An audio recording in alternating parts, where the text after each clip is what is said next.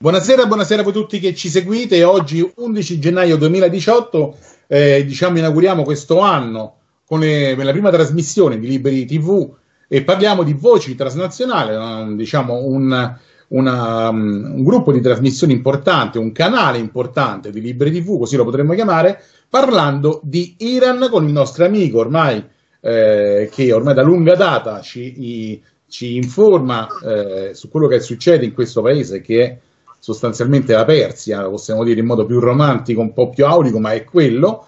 Eh, Esmail Moades, che conoscete già, eh, presente sui nostri schermi e nei nostri archivi da tempo. E, e Esmail Moades è uno scrittore, ha scritto dei libri e lo possiamo di recente, peraltro, trovare anche eh, con un articolo eh, sull'opinione, se non vado errato, l'opinione sì, delle libertà, con un articolo del 9, del 9 gennaio. Allora, eh, di che cosa parliamo? Parliamo ovviamente di, eh, di quello che un, per un breve, diciamo, tratto della mm, parte iniziale proprio di gennaio del 2018, mh, mm, ha avuto eh, gli onori della cronaca eh, abbastanza in modo enfatico e poi dopo è scomparso, cioè eh, una serie di eh, disordini, così potremmo chiamarli, poi Ismail ci spiegherà meglio di che si tratta, in Iran, probabilmente non in tutte le città, poi ci dirà bene Ismail in quali città e cosa vuol dire questo, eh, disordini di protesta nei confronti del, eh, del governo, in qualche modo dell'autorità. Eh, sappiamo che in Iran appunto noi cerchiamo di parlare ovviamente alla rete, quindi senza dare nulla per scontato, eh, c'è il regime dei mullah, c'è questa diciamo aristocrazia religiosa che esprime poi anche il potere politico, eh, c'è questo attualmente il governo Rouhani, qualche anno fa ne abbiamo molto parlato, è stato eh, concluso l'accordo cosiddetto sul nucleare iraniano, eh, ma sostanzialmente queste proteste pare eh, che abbiano come motivo una sorta di eh, praticamente di situazione economica drammatica che ha portato eh, gran parte della popolazione iraniana alla fame. Ecco, io do la parola a Esmail per eh, cominciare appunto questa conversazione per darci appunto delle magari informazioni più esatte e soprattutto darci le informazioni che la stampa oggi in questi periodi televisioni eh, e giornali non danno più, pare che tutto sia sparito, ma Esmail è veramente così? Allora, diciamo che intanto eh, le manifestazioni eh, sono partite il 28 dicembre. Mm a Mashhad, la seconda eh, città più grande dell'Iran.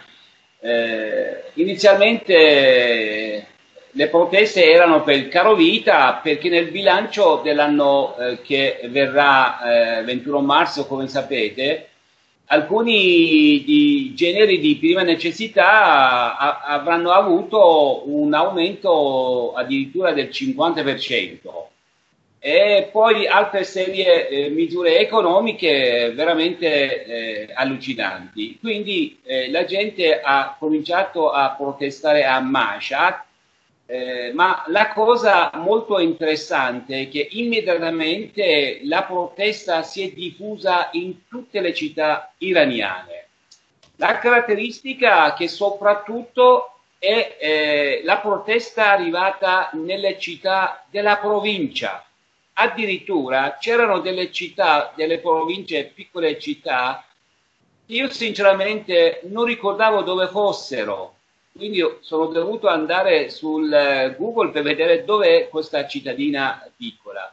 E quindi eh, ha questa caratteristica che eh, le manifestazioni eh, avevano luogo nelle piccole città. Perché questo?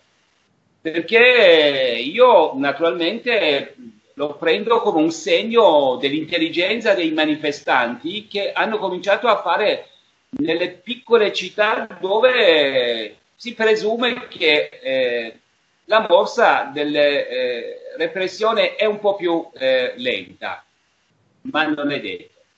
Eh, mi, dicevi, mi, dicevi, che eh, se queste manifestazioni sono rientrate, non sono rientrate eh, per esempio, le ultime notizie è che in Iran fino adesso hanno arrestato oltre 8.000 persone, i morti sono 50 eh, persone, eh, addirittura eh, due morti certi sotto la tortura, c'è qualche, qualche notizia su cinque persone, eh, ma le proteste non sono rientrate per un semplice motivo, che, le, che i motivi esistono ancora.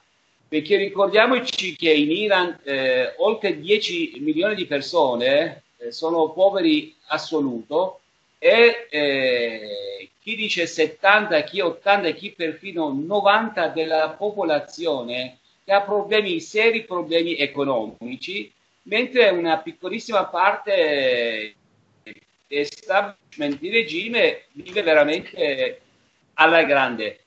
Tanto è vero che uno dei, degli slogan principali della manifestazione è che la gente eh, chiede elemosina mentre i mullah vivono da Dio. E quindi i motivi ci sono, eh, le proteste ci saranno, come ci sono. Per esempio fino a ieri sera eh, erano migliaia di persone di fronte al famigerato carcere di Evin a Teheran a fare le manifestazioni e devo dire con grandissimo coraggio.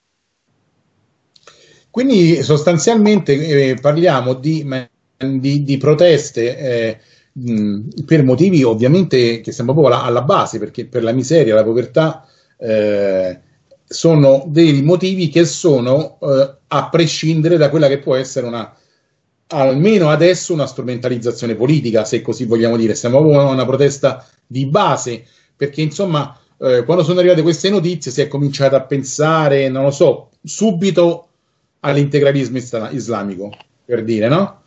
E invece qua stiamo proprio gente che soffre la fame e quindi in qualche modo queste proteste sono ancora eh, veramente per quanto riguarda i diritti eh, fondamentali, cioè le, il sostentamento, gente che è povera. Quindi al di là di una, eh, diciamo, recriminazione politica.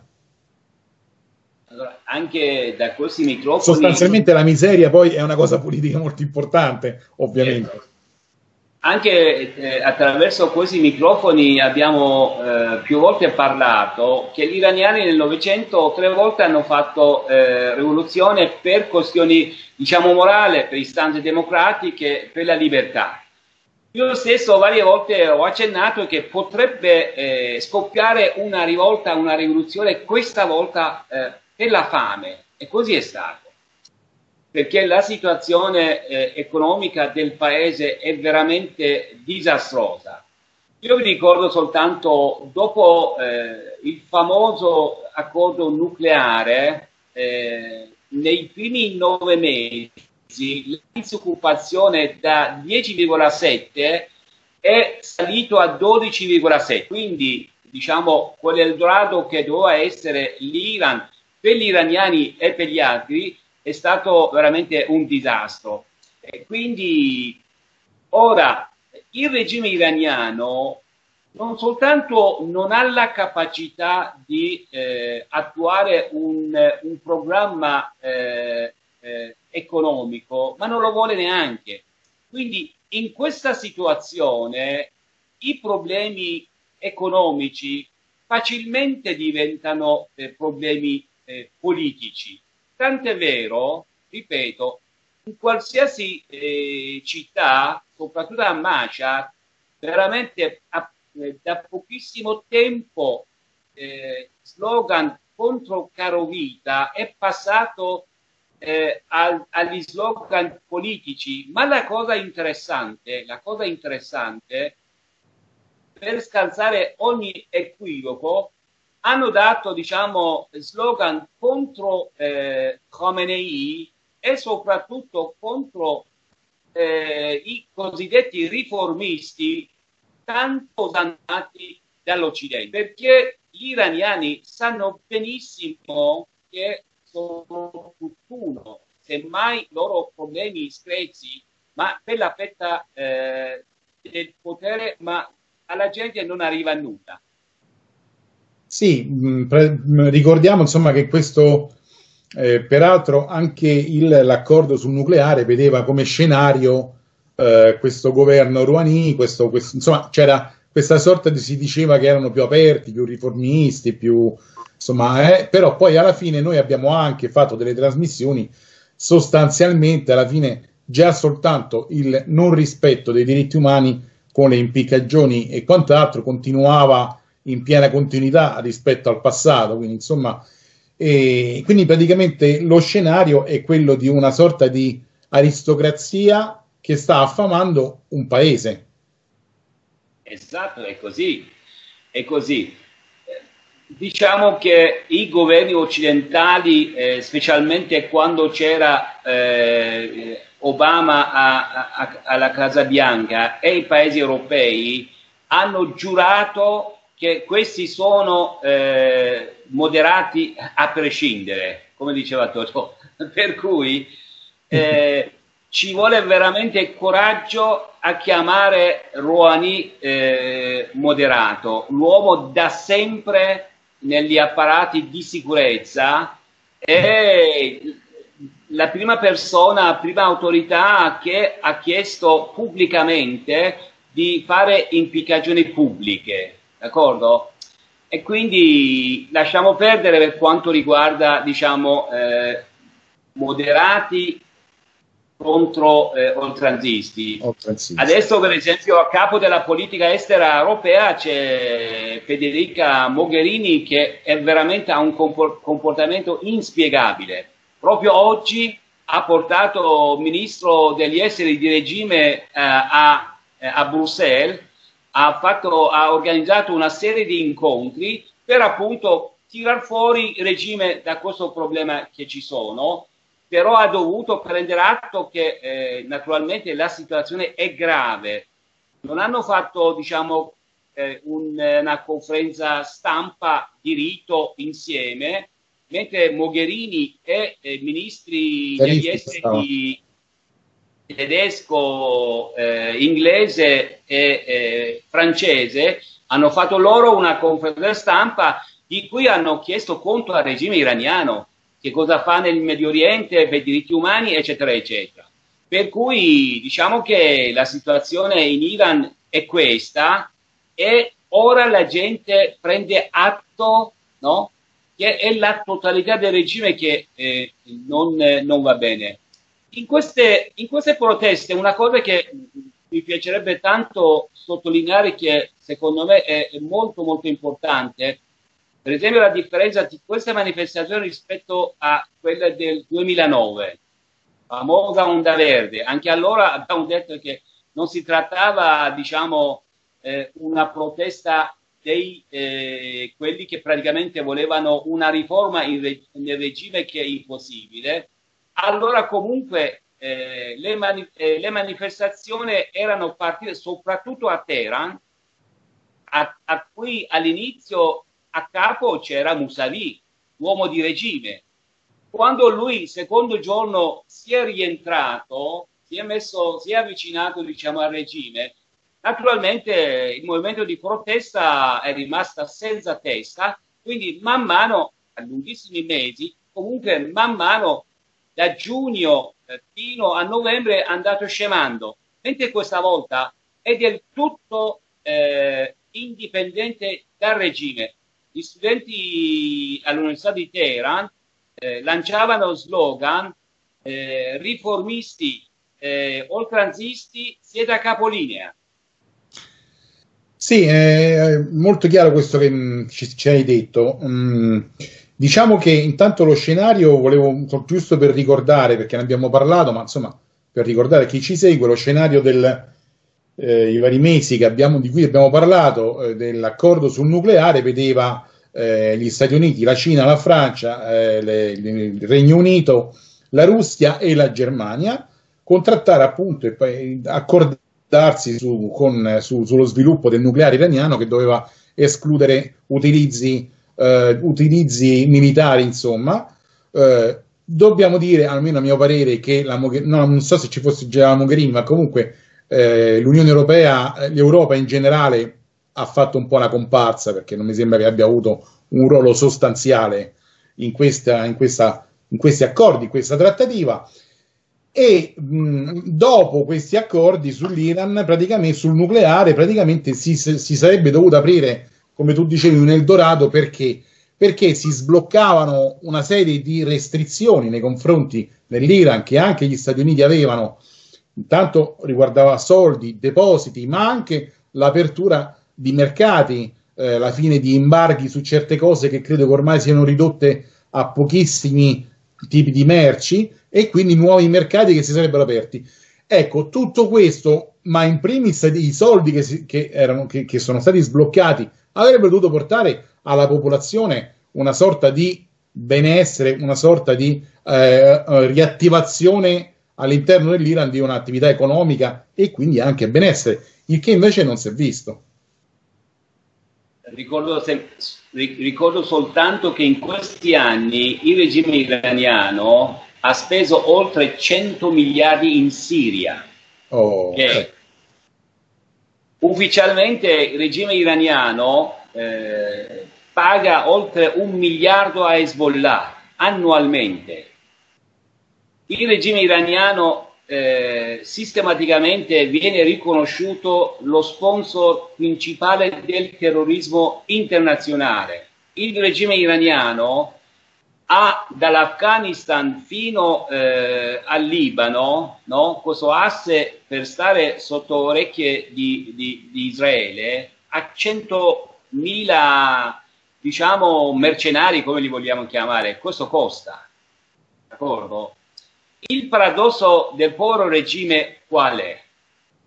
Che non può, non può arretrare, perché ricordiamoci sempre, io per esempio ieri alla conferenza stampa al Partito Radicale ho voluto sottolineare questo, che sì, gli europei stanno comportando in una maniera molto, molto, diciamo, eh, calpestano soprattutto i loro valori. Nel caso eh, del trattamento sul nucleare, eh, John Kerry faceva ministro degli esteri dell'Iran, d'accordo? Quindi varie volte abbiamo detto a questo regime sanguinario no, hanno eh, aiutato veramente in tutte le maniere, però alla fine il regime iraniano deve fare conto, conti con il popolo iraniano, in Iran a Teheran. Quindi tutto questo espansionismo del regime iraniano appunto per portare via, per esportare le sue crisi. E queste crisi costano. Per cui nello Yemen, per esempio, lì aiutato, aiuta Houthi contro, eh, contro diciamo, eh, Arabia Saudita, tutto questo costa. Poi dall'altra parte gli uomini del regime sono estremamente corrotti. Voi dovete sapere che eh, il, eh, il, tasso della corruzione ufficiale in Iran sono 35%. Io molte volte, io siccome amo molto l'Italia e soffro molto che molti imprenditori italiani, e, e mia seconda patria, fanno affari in Iran, io veramente soffro, sono molto molto amareggiato, allora con sarcasmo dico, forse gli italiani sono abituati alla corruzione e quindi si trovano bene in Iran. Sì. Altro non posso dire. Sì, sì, sì, no, molto, molto, molto, diciamo, comico e sarcastico questo tuo commento. Eh, senti, eh, Smail, un'altra cosa ti volevo chiedere. Eh, nella versione ufficiale, in qualche modo, che hanno dovuto dare eh, riguardo a, questa, a, a, queste, a, queste, queste, ribellioni, a queste rivolte, a queste eh, ehm, diciamo, ehm, manifestazioni, eh, si, si, è detto che praticamente Ahmadinejad fosse, cioè il vecchio, l'ex diciamo, leader, fosse eh, lui il diciamo, sobillatore eh, e peraltro pare che sia agli arresti domiciliari. Ecco, tutto questo alla luce di quanto ci dici è una cosa completamente fuori dal mondo. Sì, no, anche qui ho sentito, perché mh, mm, noi dobbiamo sapere che in Iran eh, il Ministero delle Informazioni è molto molto attivo, quindi spaccia le notizie false, le disinformazioni, ma per quale motivo Ahmadinejad? Ahmadinejad effettivamente si lamenta della situazione perché dall'altra parte, dall'altra parte eh, si dice che Khomeini sta per morire perché eh, malattia in uno stato avanzato, per cui questi diciamo, eh, si preparano per il dopo. Eh, Ahmadinejad anche e lui è uno degli artefici della crisi economica in Iran e quindi ma figuriamoci se la gente eh, vuole seguire Ahmadinejad del resto Ahmadinejad non è che è un eh, innocente che è arrivato da poco. Lui eh, ha governato per otto anni e quindi ricordiamoci che in quegli anni il petrolio costava 150 dollari. Quindi queste sono notizie che lasciano tempo che trovano, sinceramente non ne vale neanche parlarne. All'inizio la stampa italiana ha ripreso abbastanza con forza, qualcuno proprio si è speso, però hanno capito che non, non, non vale la pena insistere. Bene, stiamo entrando nei nostri ultimi dieci minuti e volevo farti alcune altre domande. Allora, l'una è questa. Eh, Trump, eh, insomma, una delle cose su cui per ora è, è rimasto e sembra essere abbastanza coerente, almeno fino al momento, è quella appunto di una netta presa di posizione contro questo accordo sul nucleare. Non so se perché l'ha fatto Obama o solo perché ha qualche piano, comunque sia lui è contrario, lo vorrebbe appunto eliminare. Ehm, ed è molto critico ovviamente sul, eh, con, il, con il regime iraniano. Ecco, io volevo chiederti, eh, Trump, secondo te perché è così critico? Si è, si è, esposto molto su questo e poi volevo chiederti, secondo te, cosa pensa, come insomma si sente Israele, vittima in qualche modo predestinata da sempre, almeno di minacce?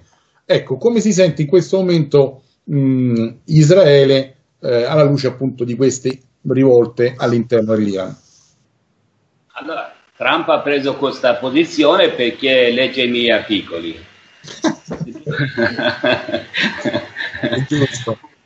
L'altro giorno avevo scritto come battuta nel mio articolo che eh, i governanti americani mi devono eh, dare il diritto d'autore perché tutte le loro posizioni che prendono eh, io eh, sto pubblicando da decenni. Oltre la battuta, eh, io allora, se tu ti ricordi, quando eh, l'accordo nucleare ho scritto più articoli e spiegavo perché era un cattivo eh, eh, accordo per gli iraniani e per occidenti e per il mondo intero. Perché io sinceramente quando ragiono, non ragiono iraniano, italiano, americano, io sono un essere umano, un cittadino del mondo, quindi capisco che cosa, bene, che cosa va bene per tutti. Quindi quello era un cattivo, eh, un, era un cattivo eh, diciamo, accordo che Obama a tutti i costi lo voleva, al costo di dare carta bianca all'Iran in Siria. No? Sì. Quell'accordo ha centinaia di migliaia di morti sulla coscienza. Vi ricordate che aveva detto eh, attacco con armi chimiche, eccetera, eccetera, è stato zitto per l'accordo nucleare, d'accordo? Quindi non andava bene. Mi ricordo anche le conferenze di Ginevra su, sulla Siria. Esatto. Sì. esatto. Poi dall'altra parte eh, quell'accordo eh, doveva, eh, doveva, essere eh, la prima fase di una serie di accordi, tipo l'ingerenza del regime iraniano eh, in Medio Oriente, appena abbiamo accennato, regime presente massicciamente in Iraq, in Siria, in Libano, eh, perfino nello Yemen. E proprio prima di collegarmi con voi ho sentito che otto pastaran eh, proprio in questi giorni sono stati uccisi in Siria, oggi hanno, eh, li hanno seppelliti in Iran, d'accordo? Quindi gli iraniani sono presenti e l'America non vuole questo.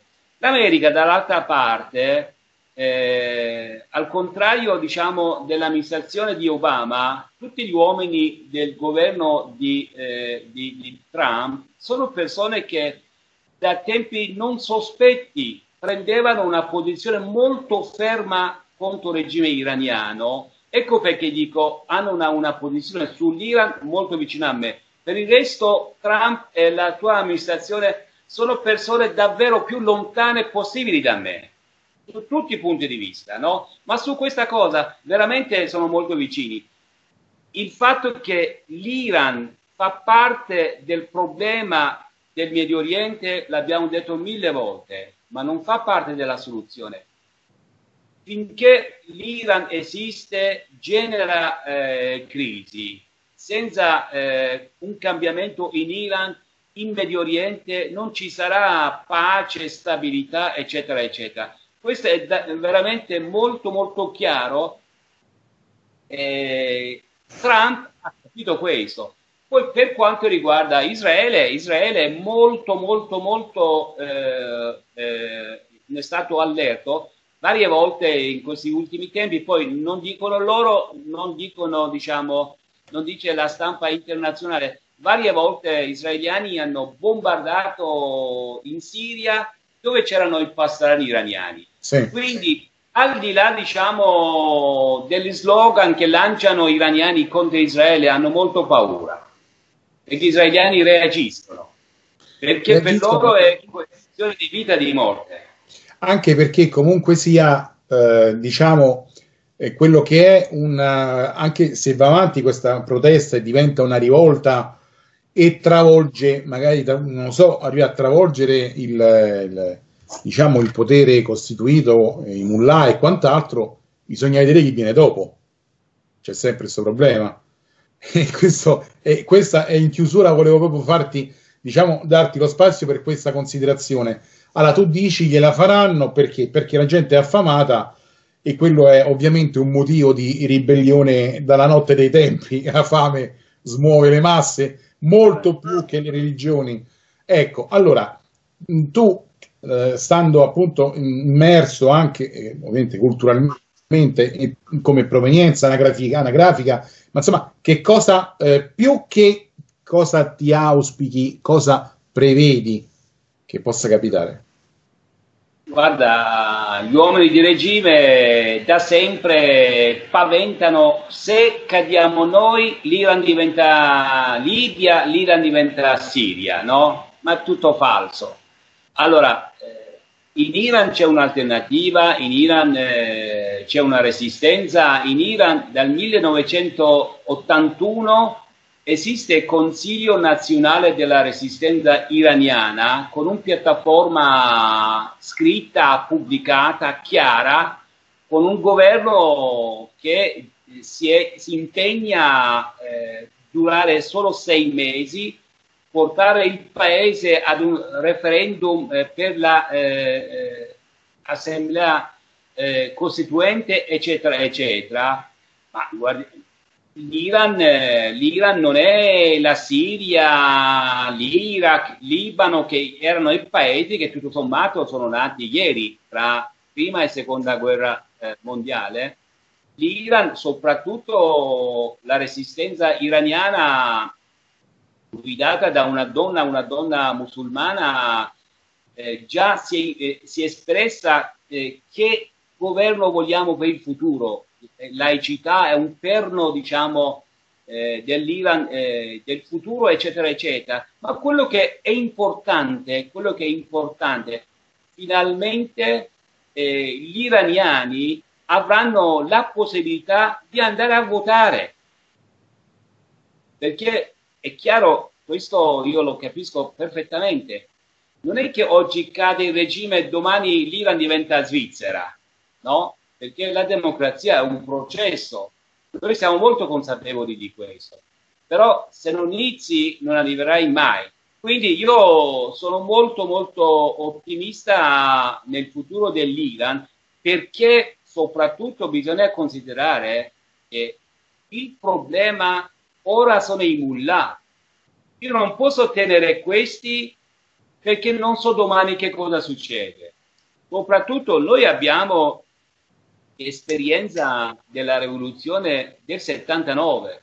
Noi eravamo molto decisi contro lo Shah, non abbiamo fatto la domanda per dopo, ma oggi sicuramente lo faremo. La stessa esperienza degli iraniani che hanno per esempio usato gli egiziani egiziani, quando è arrivato Morsi, Morsi in pochissimo tempo voleva, veramente voleva creare uno Stato eh, eh, tipo quello iraniano, no? ma i eh, egiziani hanno reagito. Oggi loro hanno un, eh, diciamo, un presidente militare, un governo militare, ma guardate che specialmente nelle grandi città la gente capisce che non è ideale, no? ma è preferibile rispetto a un governo islamico, islamico integralista, perché insomma al XXI secolo noi non possiamo avere una, un governo teocratico. Quindi il problema oggi è abbattere questo regime. Poi per, per il futuro, per quanto riguarda noi, noi siamo, eh, ci siamo organizzati abbiamo programmi, diciamo, pubblicati. Perfetto. Allora, Ismail, siamo arrivati alla fine eh, e mm, io ti ringrazio questa, della partecipazione a questa, a questa trasmissione, eh, così che insomma torniamo anche con Libri TV a parlare un po' del, del mondo e ne parliamo appunto con cognizione di causa. Grazie a te in questo caso, eh, sempre con un occhio rivolto alla libertà eh, e ovviamente in questo caso alla libertà di un popolo dalle antichissime tradizioni. A questo punto non mi resta altro che da, darti eh, appuntamento a un prossimo approfondimento, ringraziare la regia di Donato Volpicella, eh, salutare tutti voi e lasciare a te eh, qualche parola per la chiusura. Allora, l'unica cosa che io voglio dire è che eh, le manifestazioni in Iran, eh, magari in altre forme, magari in altri luoghi, eh, proseguiranno perché, ripeto, le cause di proteste sono diffuse e profonde.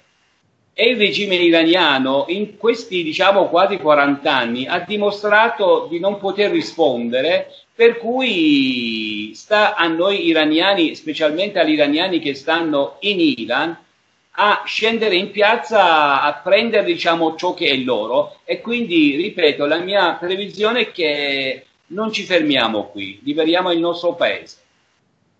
Grazie a tutti, grazie a Donato Volpicella, grazie Ismail, a presto su questi schermi. Ciao.